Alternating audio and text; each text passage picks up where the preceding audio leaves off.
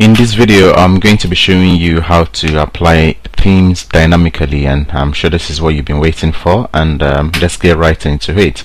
Um, because I'm going to be using the skin file to controls the look and feel of the uh, server controls and the style sheet to control the looks and feel of the um, HTML tag. So I'm going to remove this input. Uh, quickly show you how to use it to modify the H uh, some HTML control. So I'm just going to use it with the um, h1 tag. So I'm going to change the color of the h1 tag to uh, let's change it to blue because this is the blue theme.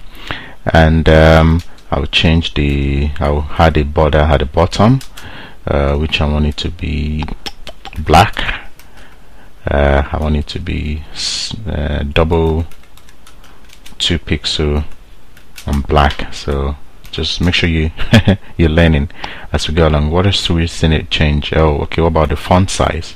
The font size uh, let's put that to be 20 pixel. Okay so uh, that's it. So right now as you can see there's nothing that's going to modify the uh, uh, the server controls from here. So that will be for the blue so let me copy this as well because I'm going to create um, one for the green theme as well. So inside the green theme let's add a new item for the and it's going to be style sheet. Um, let's leave the default name to and paste the code in here but here we have to change uh, the green theme. I want that one to be what can we put uh, yellow? The background I want it to be yellow. Sorry I can never type I told you. Uh, so the h1 will be green in color and the uh, let's leave this one as it is. So now we have two style sheet and uh, two style sheet and two skin files. So now how do we apply this dynamically to our application? But uh, also you have to remember that uh, because because um, let me delete that. Um, now we have the blue theme at the top because now I'm applying this blue theme. So what can we do? We can just say uh, h1 tag. Let's see how our h1 tag is getting along. We can say this is the blue theme because the blue theme is being applied at the top. So if we take a look um, we should see that the blue theme is being applied. But you have to remember that I did not have the let's see before I talk. Here as you can see our CSS style has been applied. Our CSS style which is the silver color background the head one which shows in blue and the line. Also the uh, um, the button and the text box also has been applied with the skin file. So you have to remember that I did not link the style sheet inside the head tag remember in the last video I actually linked it but because there's because we actually applying a theme and our and our um, CSS is installed this theme folder. We don't need to link it because it's going to find it anyway. So now let's see how we can uh, apply this thing uh, so uh, dynamically. So let's create two links at the bottom here uh, which is going to be link one hyperlink 1 and hyperlink 2 so we have two hyperlinks. The first hyperlink uh, the text on it will be blue. The second hyperlink will be green. Green. There is a page event called um, there's a page event called pre-init event. That's where you handle all your um, so if I go inside this we if you want to apply theme dynamically you have to use this. If you don't know C sharp just uh, copy just what I'm doing here and just copy it. It's called page pre init object sender I'm sure you know what uh, this object sender is now under EventArgs E so uh, this is it's only if you handle your um, theme application inside the page load event not going to apply because this one comes before the page load event. Uh, I'm sure I've explained the page load events to you and you should know uh, what I'm trying to say. You have to handle this inside this uh, page load, inside this event. So if request. The uh, theme that was request if it's not null if there's that means if there's a theme request at all it's not equals to null right? Then uh, we're going to have a switch statement.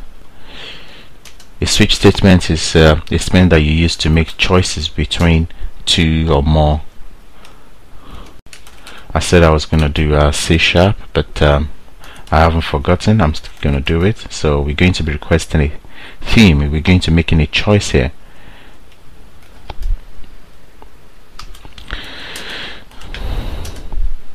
So there's in the case in case somebody requests a green theme this one now uh, you can put any words there you know you feel like in here. I mean but this is the same word that you're going to be using in the link. So if somebody requests the green theme then we want to use the profile.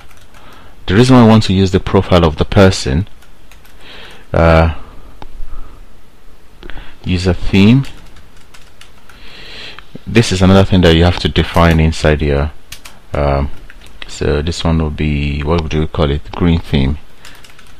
Uh, if somebody requests a green so we want to load a green theme. Remember we have a green theme I mean so we want to load this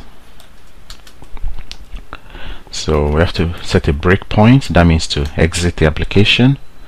And a case of somebody requesting a blue case of uh, blue.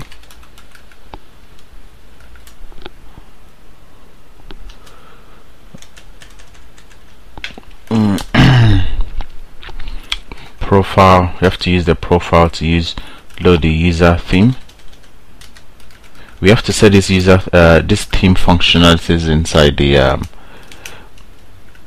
uh, web.config file.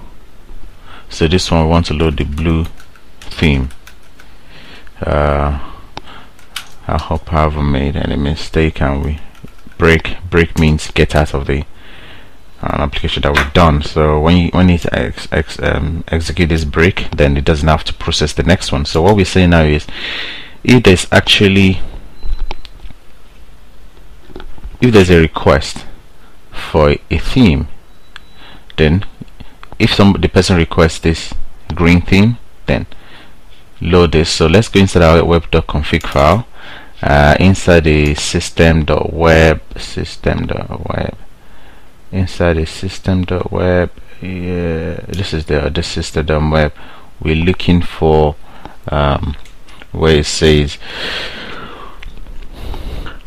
have to add a profile inside system.web actually let's see if there's a profile already added. No there's no profile. So inside the system.web let's add a profile. The reason why we want to uh, apply a profile just like I said before is because if we don't apply a profile that means if the person leave the page then um, another the theme will not be we want to apply the theme to their profile so that when they go from page to page or when they come back to the website next time then we already know who they are. So we actually um, remember I said to you you have to we're using the user theme inside our application. So name equals to the the user theme. And if you go back to our um, back we're using this user theme in here. So um, let's run it and see if we've if we've uh, if there's any errors. I won't be surprised because uh, I can see an error. If request then theme. Okay I didn't close it so I can see where this you know this saying syntax error. So that's I'm wondering what is going on. Okay so now let's run our application. Oh before I run my application I forgot that um, uh, this link we have to actually modify them as well. So we have to put the href tag uh, href tag href no we can't use the uh, hyperlink. We have to use the normal